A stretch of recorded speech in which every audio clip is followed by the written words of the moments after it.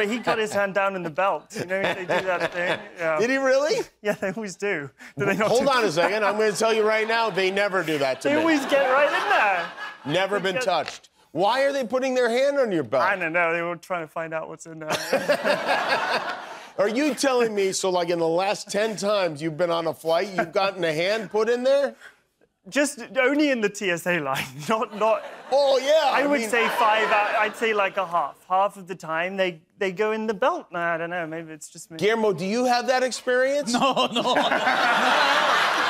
I now I'm realizing what's really been going on. wow.